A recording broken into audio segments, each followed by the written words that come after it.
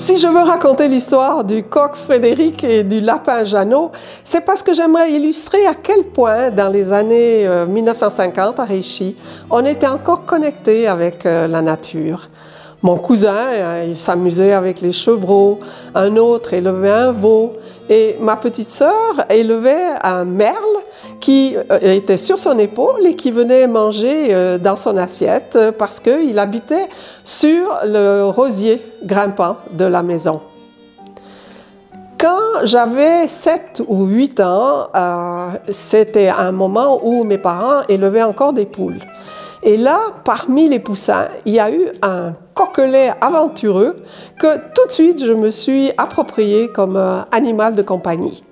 Frédéric, c'était son nom, c'est devenu mon compagnon. Il, euh, il, jouait avec moi et il me becquetait les oreilles et les cheveux. Et j'avais toutes les peines du monde à me séparer de lui pour, euh, pendant la nuit. Finalement, c'est devenu un magnifique coq blanc à crête rouge et mes parents ont décidé qu'on euh, n'allait pas le manger, mais que ce serait le coq de notre poulailler. Et là, Frédéric s'est révélé. Il a mis de la discipline. Il se méfiait des, putois, des éperviers, des chats qui surveillaient toujours, qui épiaient le troupeau. Et il n'hésitait pas à faire entrer tout le monde au poulailler s'il pensait qu'il en sentait le besoin. Et il restait debout à l'entrée et il attendait qu'on vienne fermer la porte. Euh, petit à petit, euh, Frédéric a étendu euh, ses devoirs de chien de garde à toute la propriété et à ses alentours. On est devenu une propriété privée. Ma tante Angèle, qui essayait de traverser, se faisait chasser et elle était très indignée, mais ça lui arrivait à elle comme à tout le monde. Frédéric a entretenu avec mon père une relation de compétition. Il allait tous les jours l'attendre à 2h30 quand il rentrait de l'usine. Quand maman le voyait partir vers la route, elle disait « Ah, il y a René qui va bientôt rentrer ». Et c'était l'attaque du cycliste, de la bicyclette. Et mon père adorait ça. Avec moi, il est resté le coq euh, affectueux que je connaissais. Il se baissait pour que je puisse le prendre dans les bras, le caresser, tout ça. Mais c'était pas du tout la même chose avec la servante qui n'osait pas sortir de la maison que armée euh, d'un petit buisson. Et une de ses tâches, c'était d'aller chercher des salades dans l'abri d'hiver et je ne sais pas combien de fois, elle est restée bloquée là-dessous avec Frédéric euh, sur le toit qui poussait des cocoricots euh, puissants. La réputation de Frédéric, elle s'est étendue aux alentours. C'était un coq féroce. Et il recevait des invitations pour participer à des combats de coqs qui étaient encore très prisés à ce moment-là euh, dans le village. Mais on a toujours refusé.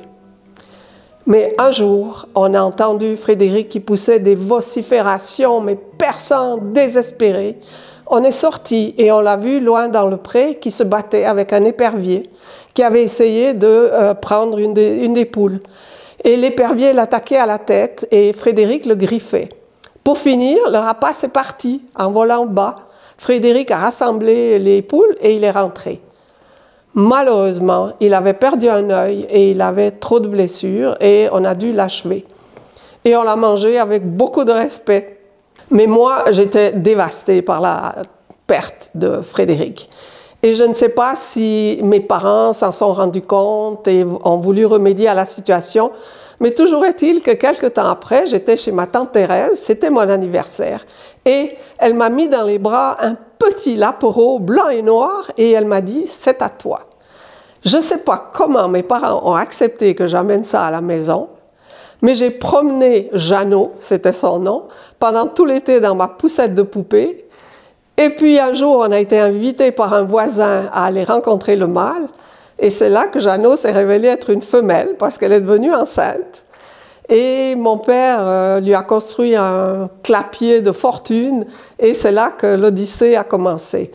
Les lapins se sont multipliés. Pour finir, mon père a construit un immeuble de clapier avec des studios derrière pour qu'il puisse faire les petits avec des clés, avec des grilles. C'était devenu toute une entreprise. Mais mon cher Jeannot a commencé à vieillir. Et mes parents ont pris une décision. Alors que j'étais en vacances en Suisse allemande, j'ai reçu une carte de maman qui a dit Aujourd'hui, on a mangé Jeannot. J'ai été mais dévastée et je pleurais tellement que les gens chez qui j'étais voulaient me renvoyer chez moi. Ça a été une phrase que j'ai jamais oubliée et je me demande comment je suis restée optimiste après ça. Mais bon, les descendants de Jeannot, pour finir, on les a tous vendus, on a arrêté l'expérience. Et puis les poules sont parties, et puis le merle, et puis le rosier. Et beaucoup plus tard, j'ai eu des chats qui ne sentaient pas euh, la souris. J'ai eu un petit chien de race. On n'arrête pas le progrès, hein?